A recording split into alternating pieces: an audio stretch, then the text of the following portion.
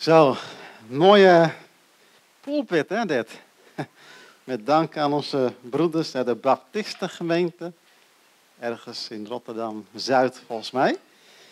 Ehm, nou, het thema van vandaag is God is wijs. God is wijs.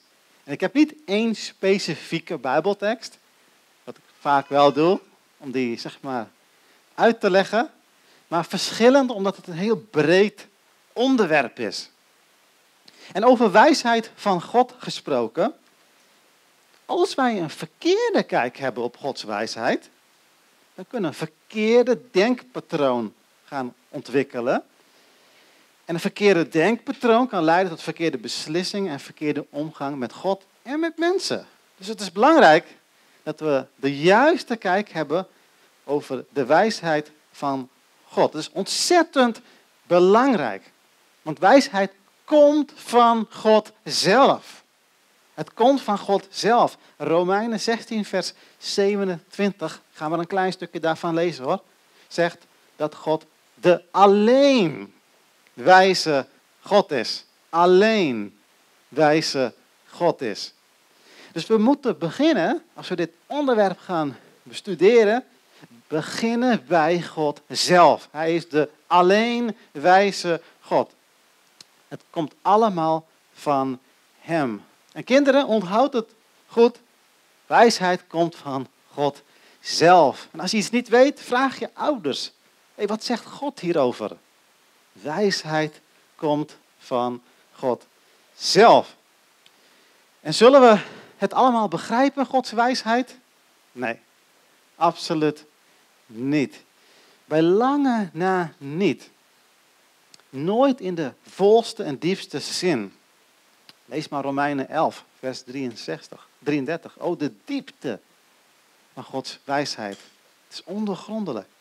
Ik zeg ook wel eens, hè, voor degene die langer gekomen is naar de FBC, dat als het ware, als we het over het evangelie hebben, is ook Gods wijsheid. Hè, is als een bodemloze oceaan voor de intellectuelen. Maar het is ook zo ondiep water dat een baby in kan zwemmen. Zo groot is het, Gods wijsheid. En door de Bijbel heen wordt God beschreven als de wijze God en die ook wijsheid geeft.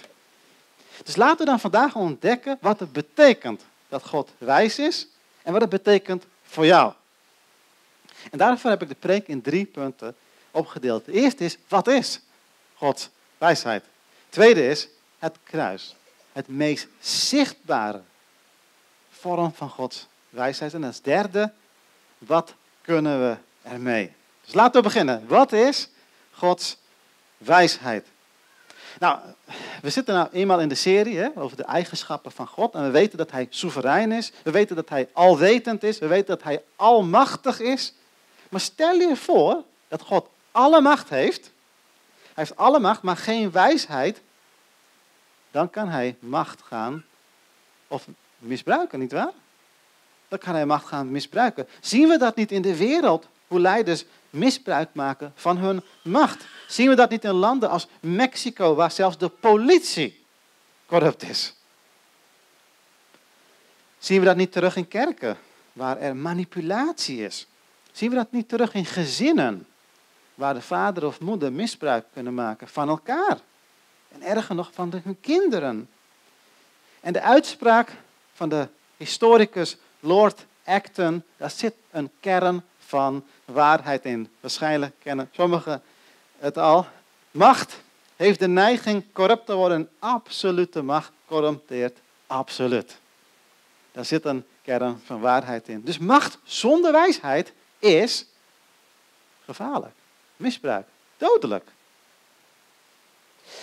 Maar wat is dan Gods wijsheid?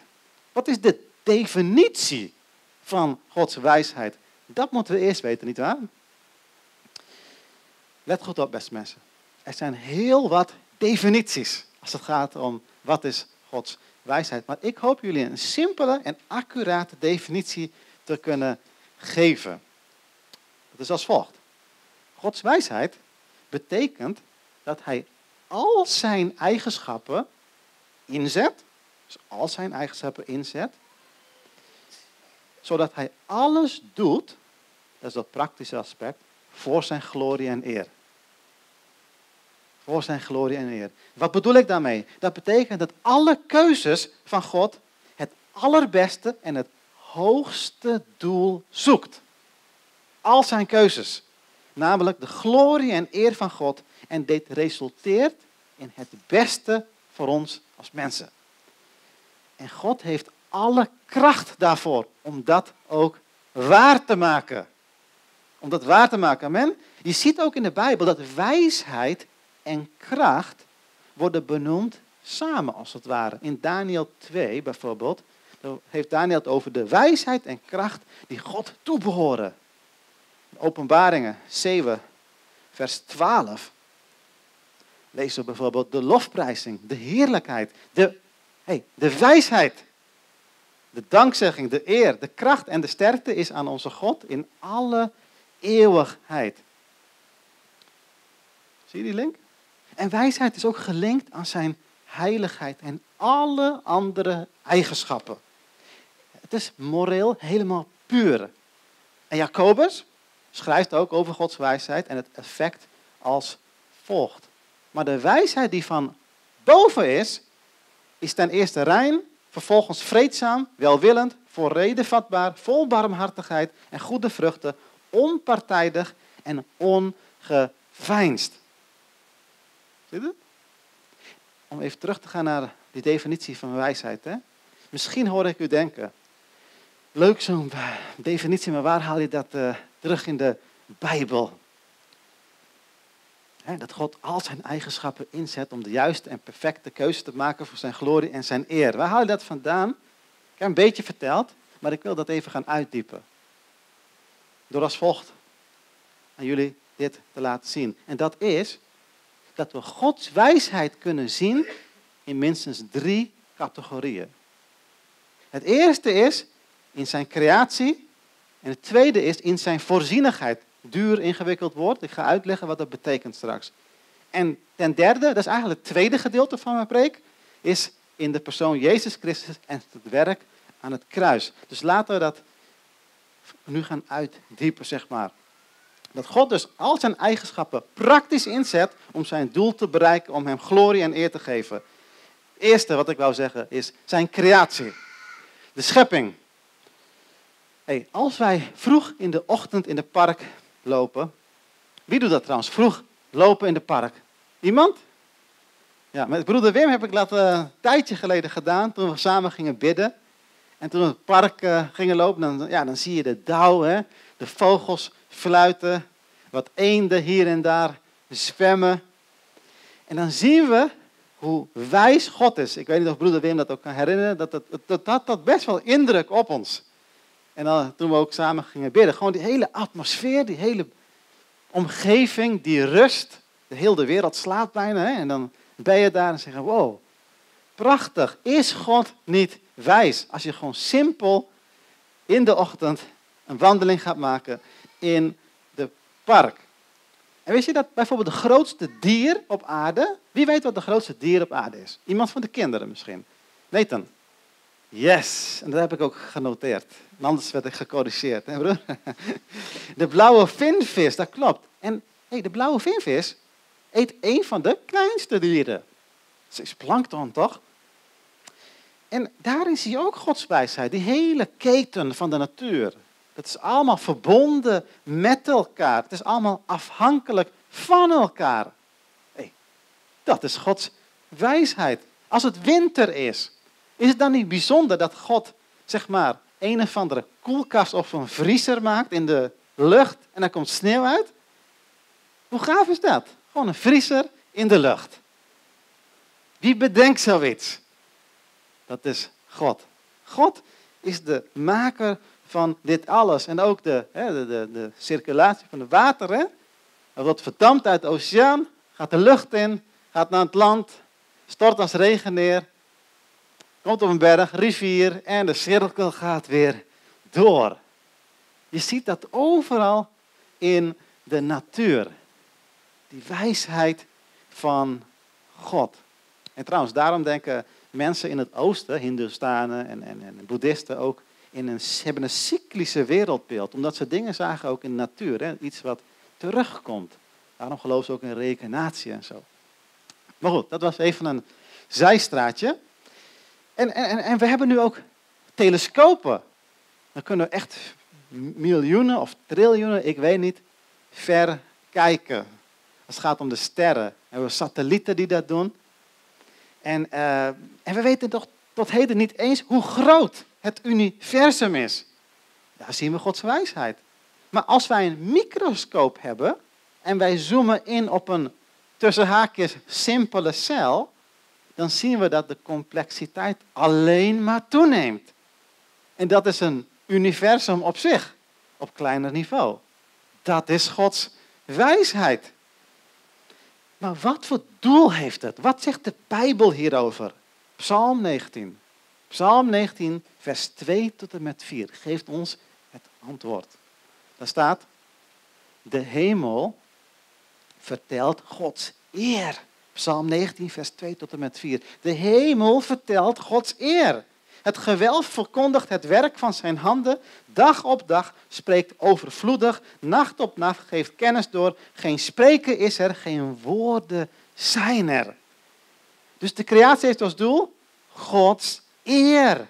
Gods eer. En weet u nog? Gods wijsheid zoekt Gods eer. Zijn hoogste doel. En daarmee verheerlijkt God zichzelf. En voor ons mensen klinkt dat misschien heel vreemd. Hé, hey, zelfverheerlijking. Maar dat gebeurt, hè? we willen vaak in de spotlight staan, niet waar? Zelfverheerlijking. En we weten, die van ons binnen, eigenlijk klopt dat niet. God verdient alle eer. Maar God is degene die dat ook oprecht kan doen. Want alles komt van Hem.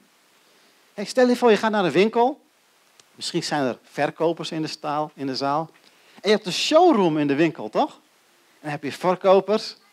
En die gaan dan met passie, ik hoop ook naar waarheid, uh, uitleggen hoe geweldig het product dit is. Zodat je je portemonnee gaat openen en iets gaat kopen, niet waar?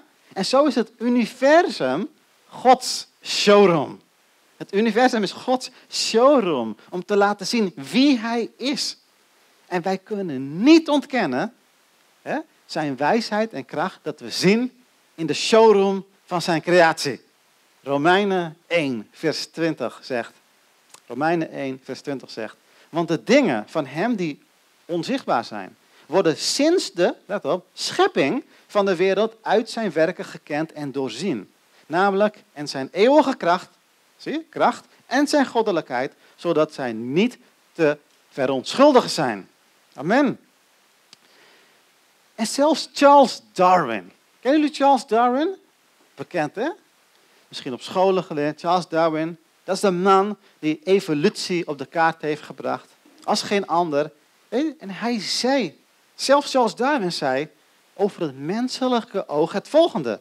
Als ik aan het oog denk, huiver ik. Huiver ik. Veronderstellen dat het oog door natuurlijke selectie, dat is die evolutietheorie, kan zijn ontstaan, lijkt me, let op, hoogst absurd.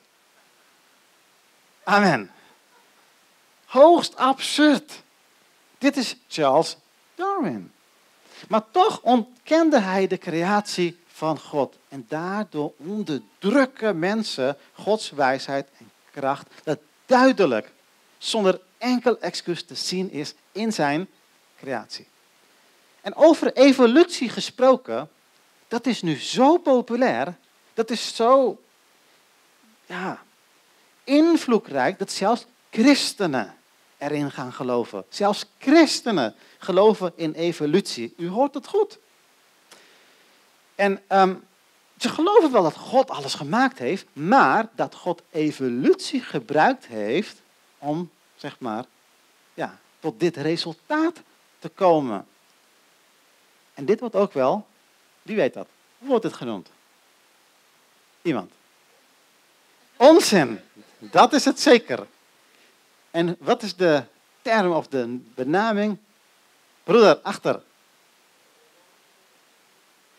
Eh, bijna. Het is niet theologische evolutie. Maar het is uh, theïstische evolutie. Uh, bijna broer, maar dankjewel. Theïstische evolutie, wat is dat hè? God heeft evolutie gebruikt.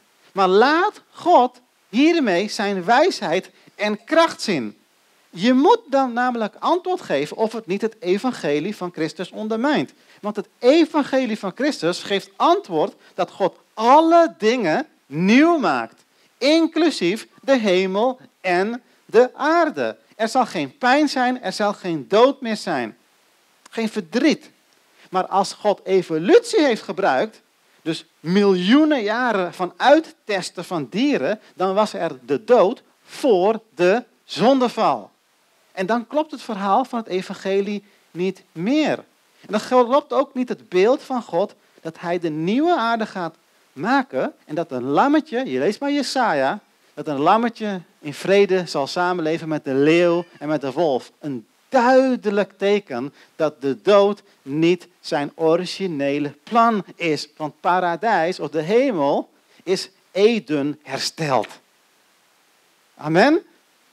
En theïstische evolutie heeft veel invloed op bepaalde intellectuele christenen.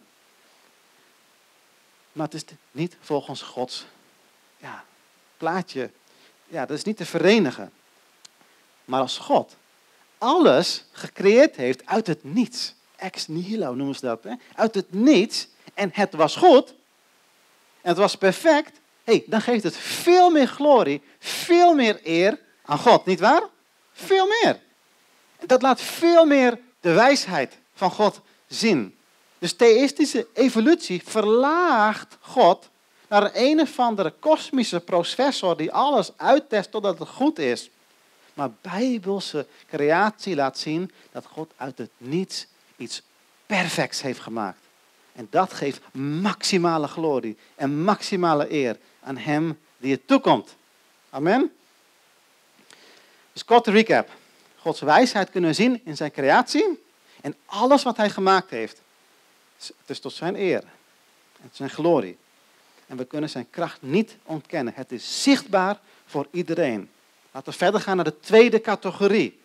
We zijn nog steeds bij deel 1. Hè? Wat is Gods wijsheid? De tweede categorie is Gods wijsheid in zijn voorzienigheid. Ik weet het, het is een ingewikkeld woord, maar dat ga ik nu uitleggen. Gods wijsheid in zijn voorzienigheid. Wat houdt dat in, Gods voorzienigheid? In het Engels wordt ook wel de providence of God genoemd. Ik wil beginnen met een verhaal, want misschien ga je helemaal niks snappen, maar ga je het verhaal wel snappen en dan pak je nog wat waarheid van. Ja, dus ik ga een verhaal delen. Als het goed is, is dit echt gebeurd. Er was een vrouw, een bankdirectrice. Die ging op avontuur. Zij stapte zo'n vliegtuig in. Het was een vliegtuig waar je dus parachute kan springen. En daar stond ze dan. Deurtje open. En dan zie je die afgrond, toch? En ze houdt van avontuur blijkbaar. En ze ging diep ademhalen. En ze maakte de sprong. En met, ik weet niet, 200 km per uur of zo, maakte ze die val naar beneden. En op een gegeven moment dan moet je toch ook aan het koord trekken, toch? Met een parachute. Maar hé, hey, dat werkte niet. Dat koord werkt niet. En daar gaat ze met 200 plus kilometer per uur naar beneden. Maar zij uh, was niet zo ongerust, ze was niet in paniek, want er is nog een reserveparachute. En uh, die ging wel open, maar ze was even haar oriëntatie kwijt. Ja, logisch toch? en, um, en ze viel met een harde snelheid op de grond. Auw, wat heeft dat uh, pijn gedaan? En ze verbrijsterde haar rechte uh, zijde en de vullingen van haar tanden werden eruit geslagen. En ze was ja, nauwelijks bewust en haar hart begon niet meer te functioneren. En de plek waarop ze viel, dus het is al verschrikkelijk toch? Ze viel precies op, de, op een hoop vuurmieren. En die vuurmieren die verwelkomden haar met ongeveer 200 steken. Dus ja, heb je dat net meegemaakt? En dan val je ook nog. in een hoop vuurmieren. Welkom met 200 steken en later kwam de ambulance. En je zou zeggen, wat had zij toch geen geluk. Hé, maar dat bestaat niet. Hè? De doktoren gingen haar behandelen en zij theoretiseerden. Hé, hey, als het ware, ik parafraseer het even, dit hebben ze niet gezegd, maar dit moet wel een wonder zijn. Maar ook weer niet, want ze theoretiseerden dat de mieren, die haar dus 200 keer hebben gestoken, dat die ervoor gezorgd hebben dat haar hart nog ging kloppen. Oh. Hey, wat heeft dit verhaal te maken met Gods voorzienigheid, het ingewikkeld woord? Ten eerste, er is geen noodlot, er is geen pech. Er zijn geen onvoorziene dingen. De parachute die niet afging is geen toeval en die mieren die haar wel verwelkomden met 200 steken, ook niet. Ook niet. Simpel gezegd, God is in controle. Gods voorzienigheid. God is in controle en alles wat er gebeurt hier op aarde, daar is hij in controle. Al lijken dat logische gevolgen te zijn. Menselijk gezien. Ze zijn nog steeds onder de controle van God. En alles is al voorbestemd door God, maar daarmee is hij niet de auteur van het kwaad. Dat is God. Dat is God. Hij is in controle. Maar nog steeds hebben wij mensen een vrije wil. Maar wist je dat onze vrije wil is eigenlijk niet altijd zo vrij als we denken? Nummer 1, onze vrije wil is gebonden aan zonde. Wij doen wat onze zondige harten begeren. Dus het is niet neutraal. Dat is één. En nummer twee, het valt onder Gods soevereine plan. Dus dat is eigenlijk de beperkte vrije wil van de mens. God is in controle, alles. En God werkt dus door allerlei manieren, wat heel logisch lijkt voor ons. Het lijkt helemaal niet bovennatuurlijk. Maar nog steeds is dat binnen Gods soevereine plan en gebruikt al die dingen om zijn wil te vervullen. Gods voorzienigheid. Maar God kan ook op een hele bijzondere wijze ingrijpen. Een voorbeeld is Paulus, die naar Damascus op weg was om christenen te volgen toch? En God greep in, bam, direct. Dat is een wonder. Maar al het andere is als het ware indirect. Maar God is in controle. En Paulus werd een van de grootste missionarissen ooit. Dus Gods voorzienigheid kiest, zoals Stephen Lawson het zegt, altijd de beste pad voor ons om het hoogste te bereiken in de juiste timing. Hij zegt verder dat de tijd wanneer je geboren was, dat dat niet een ongeluk was. En misschien denk jij zo, ik was een ongeluk. Maar je bent geen ongeluk. Je bent geen ongeluk. Ook niet waar je geboren zou worden. Wie jouw ouders zou zijn. Ja, maar mijn ouders hebben me pijn gedaan. Het is geen ongeluk. Het is geen ongeluk. Jouw regio. De mensen die je leert kennen. Hey, ook hier dat je bij RBC bent. Het is geen toeval. Het is allemaal onder de paraplu van Gods wijsheid, zijn voorzienigheid. En heeft als doel om hem glorie te geven. Amen. Het is allemaal de perfecte wijsheid van God. Ja, zelfs de moeilijkheden in jouw leven hoort ook in zijn soevereine plan. God weet precies wat hij moet doen om ons nederig te maken. Amen. Hij weet precies waar jouw gevoelige snaren liggen. Hij weet precies dat rode knopje. Poeh, au. Hij weet het precies. Om je karakter te testen. Allerlei dingen zodat je steeds gaat lijken op de Heer Jezus Christus. Wijsheid zoekt de hoogste doel. Worden als Christus. Dat is het allerhoogste doel. Daarvoor kan God zelfs Satan voor gebruiken. Hey, denk eens aan Jozef. Verkocht als een slaaf, verlaten. Hij moest hard werken. Potifar, zijn vrouw, beschuldigt hem vals. Weer in de gevangenis. Dan komt hij aan de top. Allemaal problemen. En dan ontmoet Jozef zijn broeders die hem notabene verkocht hebben als slaaf. Ontmoet hij ze en dan zegt Jozef, jullie weliswaar. Jullie hebben kwaad tegen mij bedacht, maar God heeft het ten goede gedacht om te doen zoals het op deze dag is. Een groot volk in leven te houden. Zie je dat?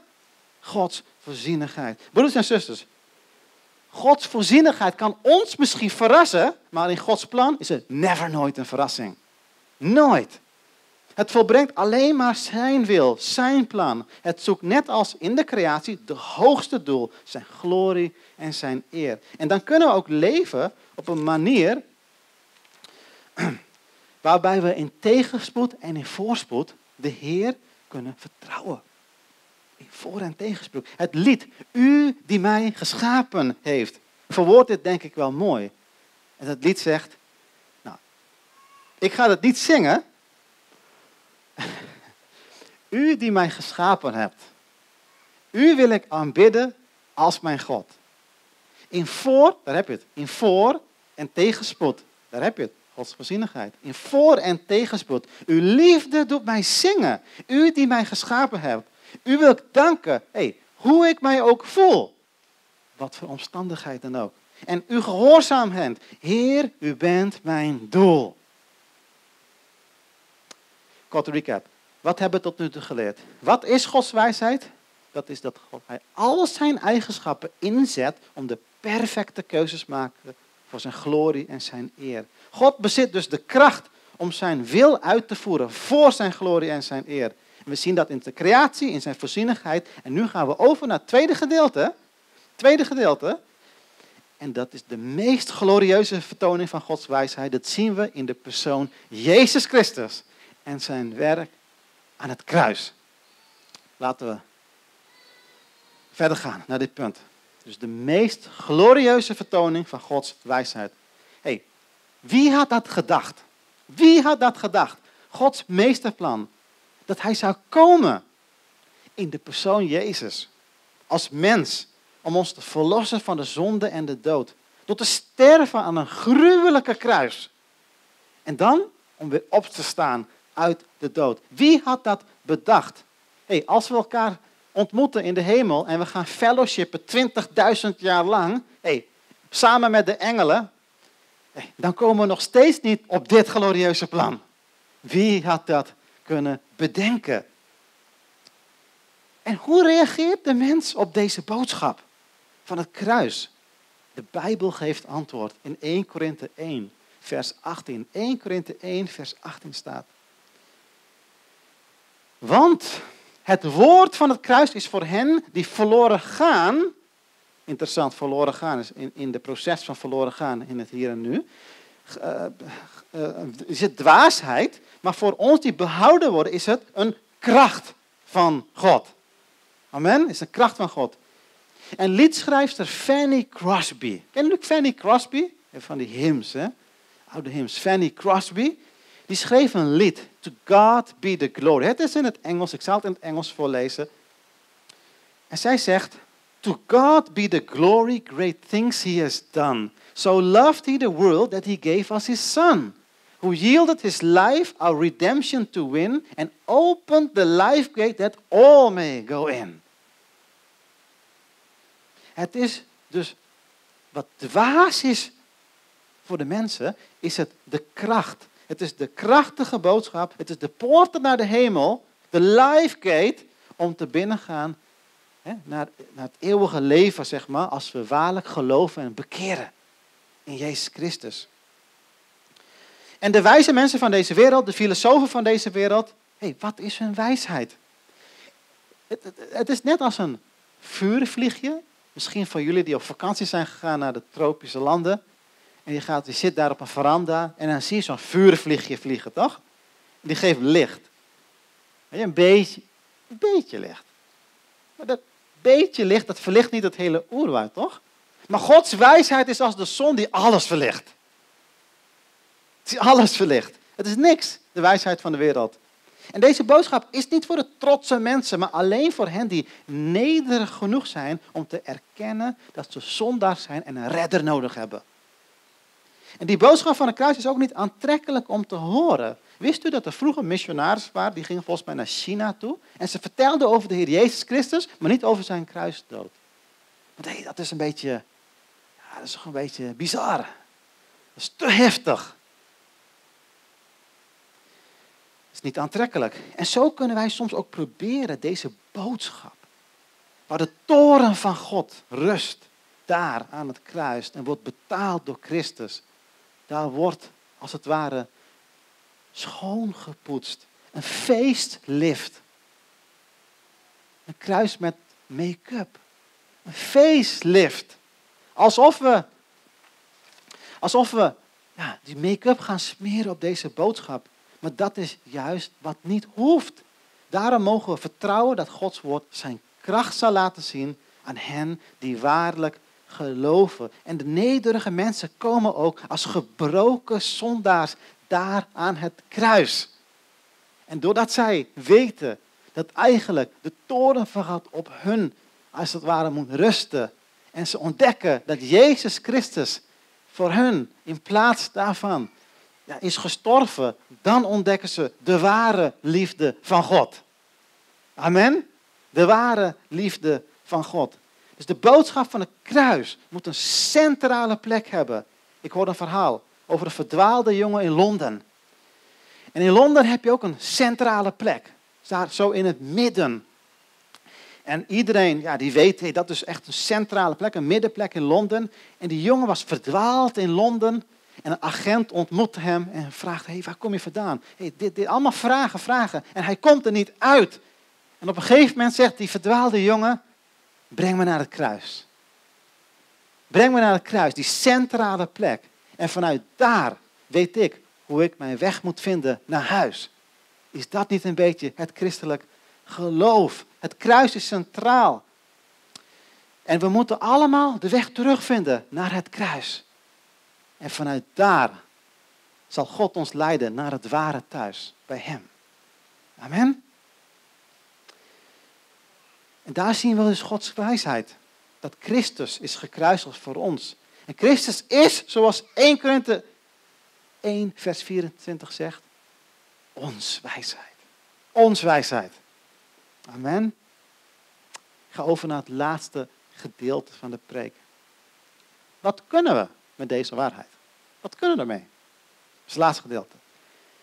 We weten nu dus hè, dat God wijsheid is, dat hij al zijn eigenschappen inzet om zijn wil uit te voeren die perfect is voor de glorie van hemzelf. We zien dat terug in de creatie, in de voorzienigheid en in de glorieuze vertoning in Christus en het werk aan het kruis. En er kan heel veel gezegd worden over deze waarheid, wat we ermee kunnen. Maar terwille van de tijd zal ik een paar benoemen. En vaak is de praktische applicatie de schure tijd, toch? Dus nu komt de praktische applicatie. We hadden het over Gods wijsheid in creatie en voorzienigheid. De Heidelbergse catechismus geeft een prachtig en bijbels antwoord wat we met deze waarheid kunnen. Voor degenen die niet weten wat een catechismus is, dat is een vraag en antwoord, een lijst als het ware, waar je leert over God, wie Hij is, etc. Dit hebben de kerkvaderen al gedaan. Dit wordt eeuwenlang gepraktiseerd. En in deze Heidelbergse catechismus staat in vraag 28 het volgende.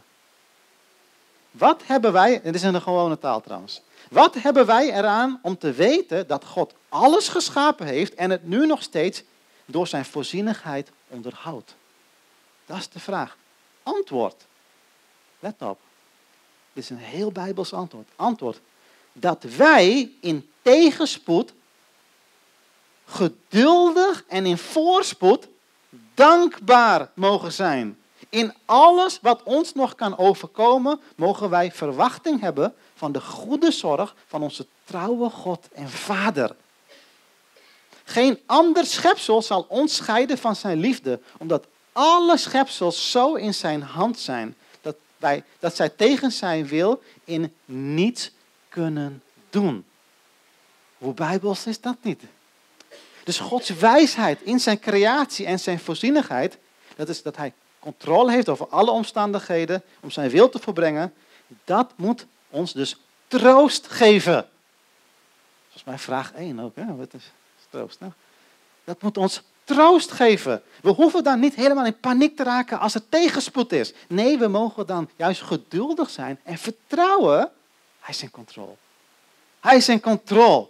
En dat dit Gods plan is om ons te vormen naar het beeld van Christus. En deze waarheid, als dit gaat landen in jouw hart, dan gaat het veel meer rust geven. Het geeft mij wel persoonlijk veel meer rust. En dan heb ik weer die lastige situatie. En dan denk ik, oh wacht even. Dit is Gods genademiddel om mij te vormen. Het geeft veel meer rust. Broeders en zusters, een hoge kijk op Gods soevereiniteit. Ga je een rustiger leven leiden. Een veel rustiger leven leiden. In voor- en tegenspoed. Heer, u heeft mij gemaakt. Geduld en dankbaarheid. En, en, en niets, maar dan ook niets, kan ons dan scheiden van de liefde van God als we in zijn hand zijn. Broeders en zusters, dat geeft ons troost. Dat geeft ons troost. Dus vraag 28 van de Heidelbergse Catechismus geeft een geweldig bijbels antwoord op Gods wijsheid en de praktische applicatie. Maar niet alleen dat. Het geeft ons ook geloof om te vertrouwen dat God het beste met ons voor heeft. Weet u nog? Gods wijsheid is om het hoogste te bereiken. Allemaal voor zijn glorie. En zo zegt Romeinen 8, Romeinen 8, vers 28 het volgende. En wij weten dat voor hen die God liefhebben, alle dingen. Broeders en zusters, alle dingen. Ja, maar die vervelende broeder. Alle dingen. Ook die vervelende broeder. Ja, maar die vervelende, alle dingen, ook die vervelende collega en die baas. Ja, maar de overheid, dat is een populaire. Alle dingen, broeders en zusters. Ik weet niet of je nu aan, mij kan zeggen. Alle dingen. Alle dingen meewerken ten goede voor hen, namelijk die overeenkomst en voornemen geroepen zijn. Bent u geroepen? Vertrouw op God, lieve mensen, dat Hij wijs genoeg is om dingen te doen wat alleen maar het beste is voor ons. Hey, toen God tegen Jacob sprak, stelde God Job allerlei vragen. Hij zat daar in zijn pijn, in zijn lijden. En God ging, ja, heel bijzonder toch? En wijzen op zijn creatie, op wat hij gemaakt heeft. En een hele tour door de, door de bij wijze van spreken. Kijk, dit heb ik gemaakt, dit heb ik gemaakt. En, ja, en wat heb jij te zeggen? Bijzonder, niet waar? En, en Job kon geen antwoord geven. Het was onbekend terrein voor hem. En zo kunnen wij ook situaties ervaren wat onbekend terrein is voor ons. Dat duister is. Dat donker is. Maar juist dan mogen we vertrouwen dat God ook daar actief is. Dat ook God daar actief is. Was Jezus Christus niet in de baarmoeder van Maria? Je zou kunnen zeggen in de duisternis. Voordat hij geboren was, maar God was daar. God was daar in de baarmoeder. Hij was daar om zijn intrede te doen. De koning deed zijn intrede in de wereld die hij zelf had gemaakt. Toen Jezus Christus gestorven was, was hij niet na zijn dood menselijk gezien. Hè? In de duisternis van de dood. Maar de Heer Jezus heeft voor ons een machtig werk gedaan. En toen de Heer Jezus opstond uit de dood, was het nog steeds donker. Maar het licht van de wereld had de dood overwonnen. En heeft God niet in de duisternis, toen het donker was, gezegd, laat er licht zijn en er was licht. Dat is duisternis. Laat er licht zijn. En heeft God niet in onze, onze leven zijn licht laten schijnen door zijn woord en door het transformerende werk van zijn Heilige Geest, toen wij nog in de duisternis wandelden. Broeders en zussen, veel van Gods grote daden zijn verricht in het donker. En juist dan mogen we nog steeds op Hem vertrouwen, op Zijn wijsheid en op Zijn voorzienigheid. Wat heb ik nog meer? Verlang naar Gods wijsheid. Verlang. Als een hert het verlangt naar water. Verlang naar Gods wijsheid. Spreuken 2. Hey, Spreuken is een geweldig boek voor wijsheid. Hè? Spreuken 2, vers 2 zegt om je oor acht te doen slaan op de wijsheid als je je hart neigt naar het inzicht.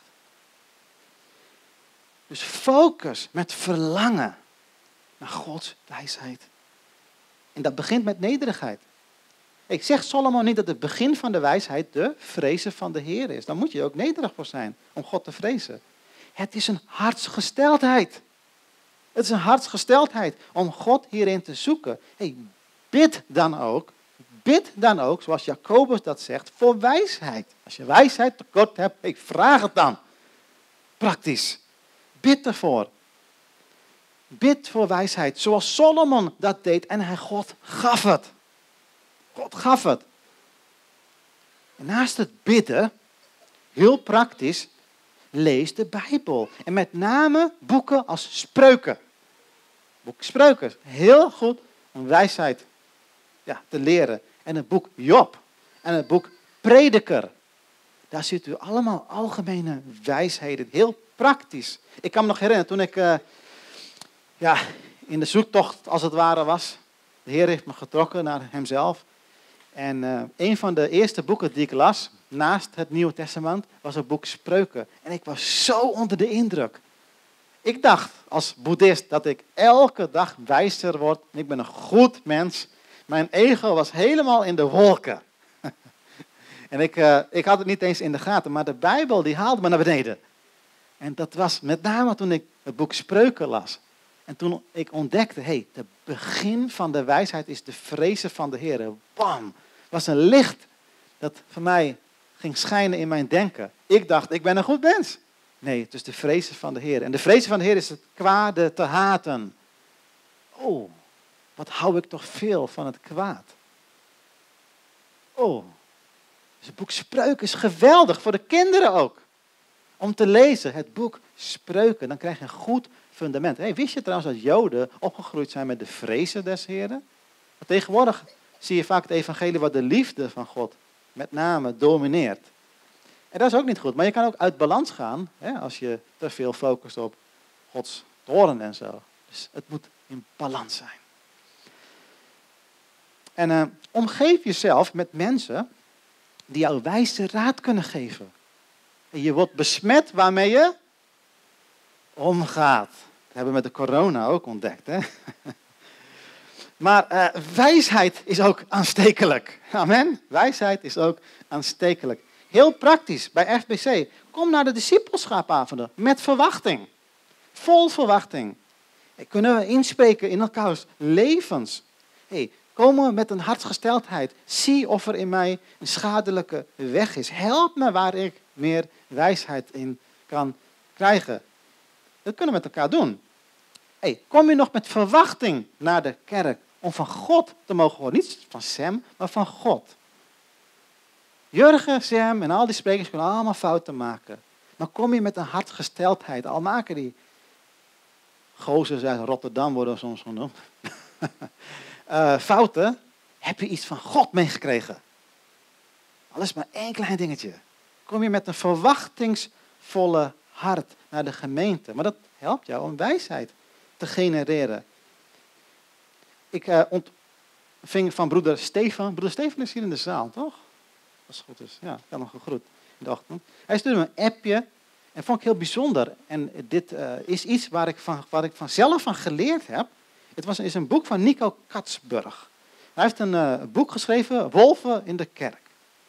En dat gaat over conflicten. En een van de dingen die ik las, is dat Nico Katsburg zich enorm zorgde, zorgen maakte over het tonen van respect. En eigenlijk dat wij christenen de neiging hebben, en dit is het punt, na een tijdje ondankbaar te worden. Persoonlijk heb ik hier enorm van mogen leren om altijd dankbaar te zijn. Er is een gevaarte dat door gewenning je ondankbaar wordt. En s'morgens toen ik hier aan dacht, of gisteravond, ik weet niet, ik was nog in de nacht bezig met de preek, dacht ik van, hé, hey, wat ben ik dankbaar voor broeder Jurgen en zijn gezin. Dat hij zo staat voor een Bijbels gezin. Toen ik hem voor het eerst ontmoette, dacht ik, zit deze man nou tegen me te liegen? Uh, ik was helemaal verdacht, hè? maar prijs de Heer.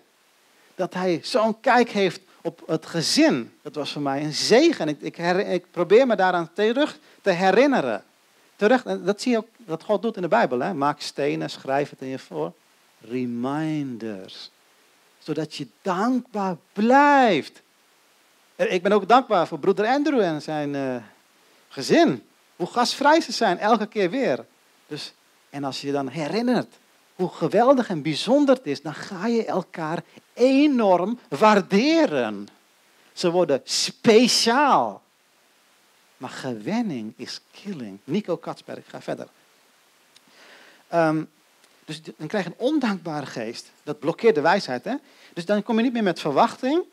En, um, en hij, hij zegt dus, zo staat er in het artikel geschreven, ik citeer. En dit is dus wat in kerken gebeurt. Dit is niet in FPC, dit is wat landelijk en universeel gebeurt. Is dat mensen komen binnen. Zijn onder de indruk. Hebben respect voor de pastor en waarderen de plaats. De worship en prediking raakt hun hart en hun leven verandert. Halleluja, prijs de Heer. En nu komt het. Dit is dus waar we voor moeten uitkijken, het blokkeren van wijsheid. Naarmate van tijd, gaan weken voorbij, maanden voorbij, ontmoeten ze elkaar vaker en vaker. En de omgang met de pastor wordt ook wordt gewoon normaal. En nu komt hij. De waardebepaling daalt drastisch. De waardebepaling daalt drastisch. Het wordt allemaal normaal, gewoon, alledaags. Steeds meer verdwijnt de dankbaarheid, zegt meneer Katsburg, naar de achtergrond. Naarmate van tijd.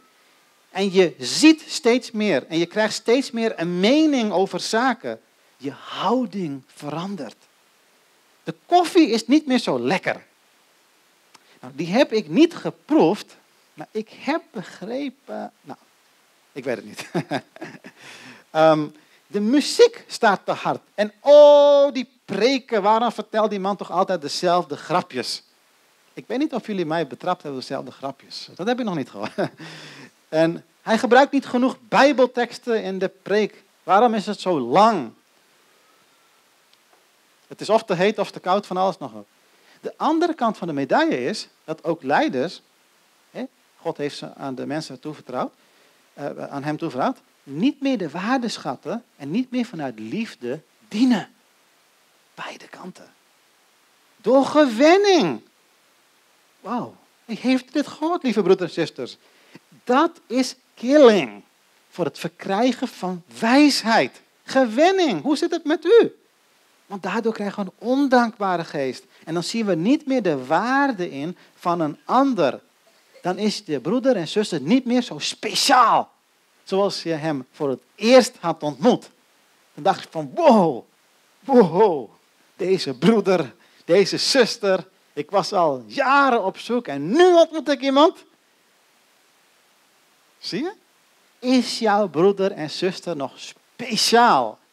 Buitengewoon speciaal. Je broeder zuster, als je een ondankbare geest hebt, dan weten we eigenlijk ook hoe jouw relatie met je gezin zal zijn, toch? Want alles is een voortvloeisel van. Niet waar? Alles is gelinkt met elkaar. Dit is Gods design, zijn meesterplan. Het is zijn meesterplan. Dus een dankbaar geest genereert wijsheid, want de kerk is Gods wijsheid. Om jou te vormen in de context van relaties, om te worden als Christus. Is dit misschien een nieuwe openbaring voor u? Dus cultiveer een dankbare geest.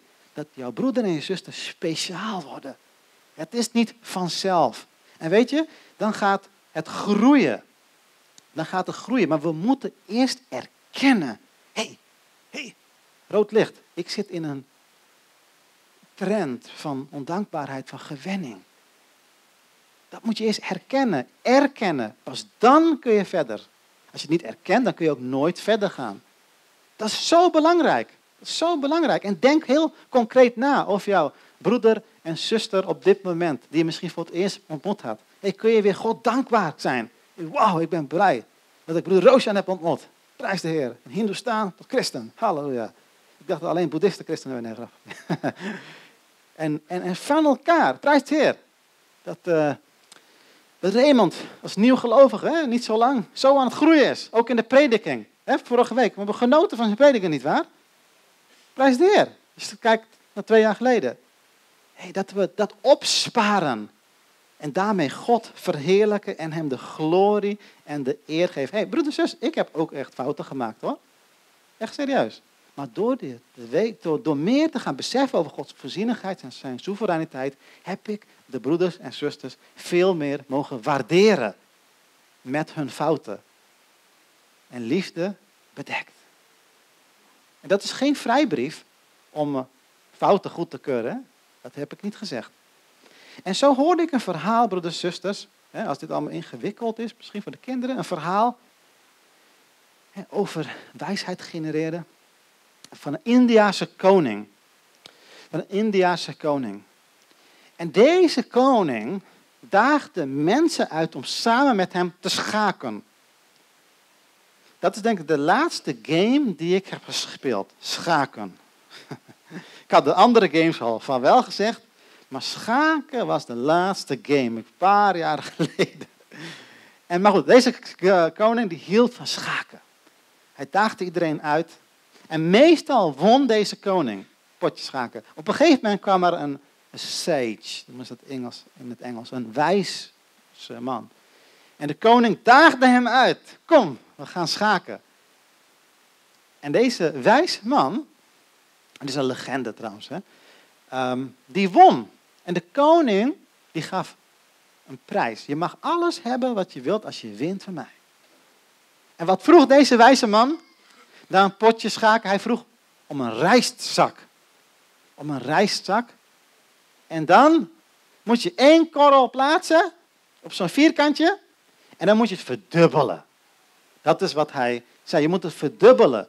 En dat leek dus een hele bescheiden vraag te zijn. Dus de koning zorgde voor een rijstzak en plaatste één korreltje rijst op een vierkant. Daarna hè, 1 wordt 2, 2 wordt 4, 4 wordt 8, 16 wordt 32, 32 wordt 64, 64 wordt, heel moeilijk hè, 128. En op een gegeven moment kwam hij achter dat op de 31ste vierkant het aantal zo exponentieel opliep dat het boven de miljoen was. En hij was nog niet klaar met zijn schaakbord om die te vullen met rijstkorreltjes. En zo kunnen kleine dingen grote impact hebben als ze bij elkaar worden opgeteld.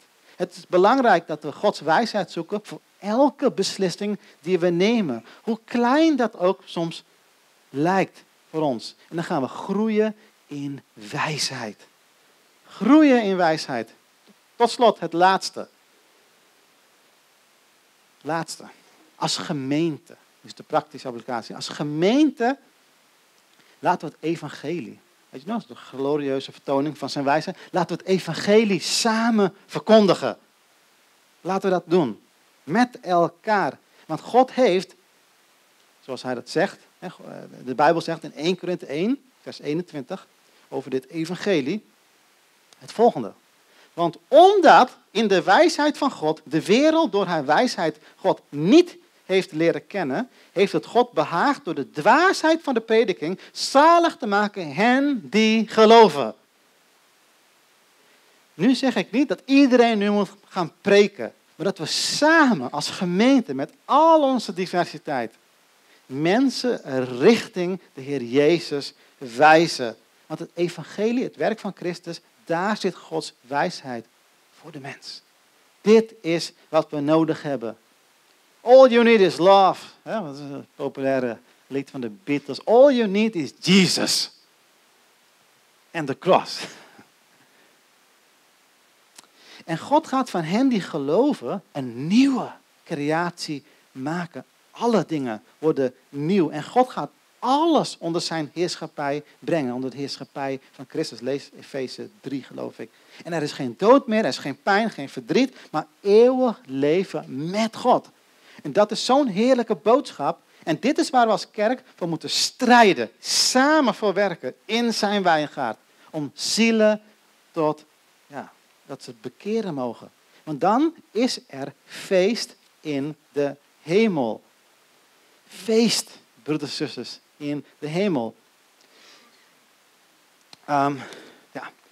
En Jullie weten, vorige keer had ik wat gedeeld, toch? Over de bruiloft van uh, Joanne en uh, broeder Albert, toch? Dat ik emotioneel werd, wat exceptioneel is, hè?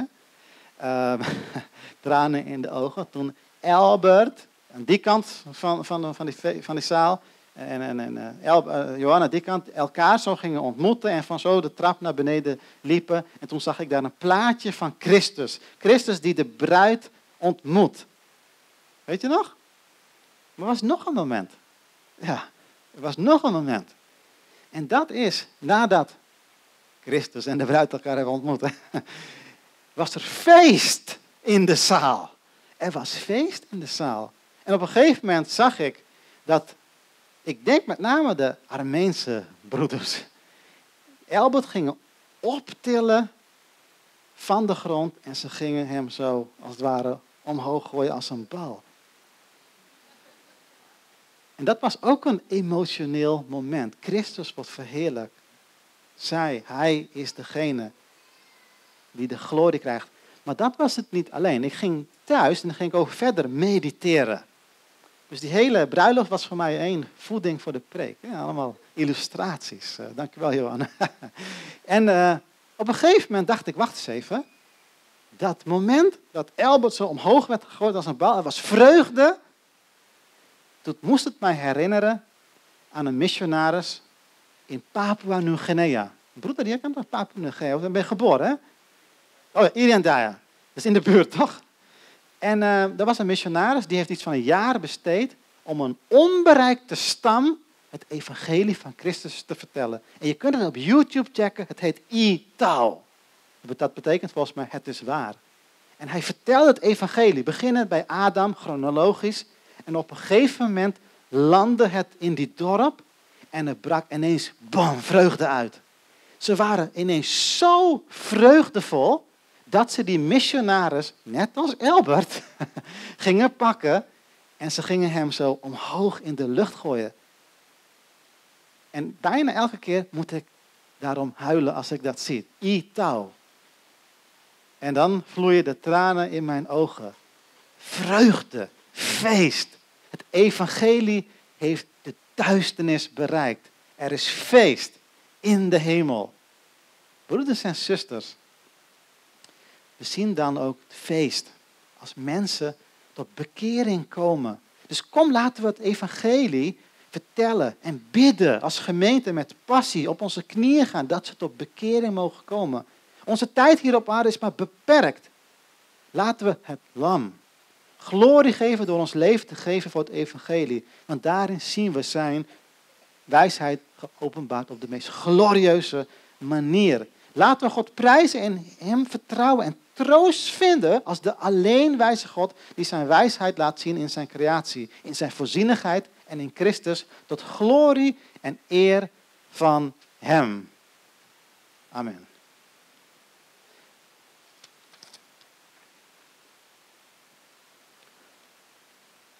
Broeders en zusters, dan gaan